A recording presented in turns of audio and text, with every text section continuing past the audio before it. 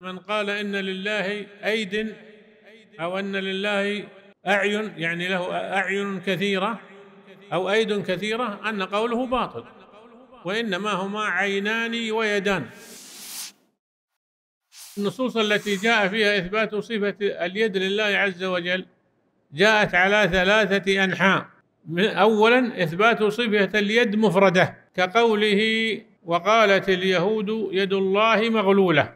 الثاني إثبات صفة اليدين مثناه كقوله لما خلقت بيدي وكقوله بل يداه مبسوطتان. الثالث أن تكون مجموعة كما قال أولم يروا أنا خلقنا لهم مما عملت أيدينا أنعاما فهم لها مالكون. يعني جاءت مفردة ومثناه ومجموع.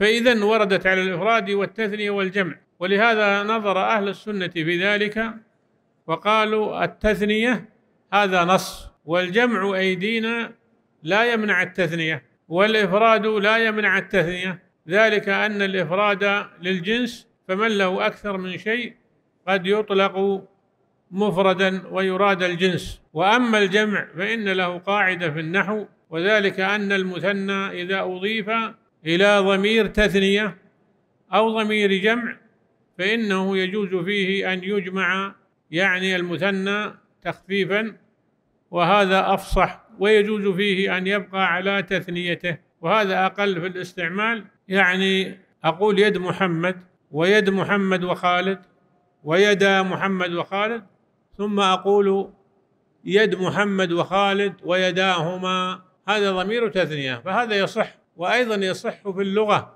أن أقول يد محمد وخالد وأيديهما لأن القاعدة أن المثنى إذا أضيف إلى ضمير التثنية أو ضمير جمع جاز جمعه وهو الأفصح. ويدل عليه في القرآن قول الله عز وجل إن تتوبا إلى الله فقد صغت قلوبكما وهما لهما قلبين. وجاء بصيغة الجمع قال إن تتوبا إلى الله فقد صغت قلوبكما. فخاطب الله عز وجل عائشة وحفصة بقوله إن تتوبا إلى الله. وعائشة رضي الله عنها لها قلب واحد وحفصة لها قلب واحد والمجموع قلبان. فقال صغت قلوبكما. فلماذا جمع؟ لأنه أراد الإضافة إلى ضمير التثنية. لهذا نقول ما ورد مثبتا بصيغة الجمع كقوله عملت أيدينا ونحوها من الآيات فهذا فيه إثبات التثنية لأن التثنية نص عليها بخصوصها والتثنية لا تحمل إلا على التثنية يعني أن المثنى نص في المثنى. أما الجمع فليس نصا عند الأصوليين فيما زاد عن الاثنين. كذلك المفرد ليس نصا عند الأصوليين في الواحد بل يحتمل أن يكون المراد أكثر من واحد.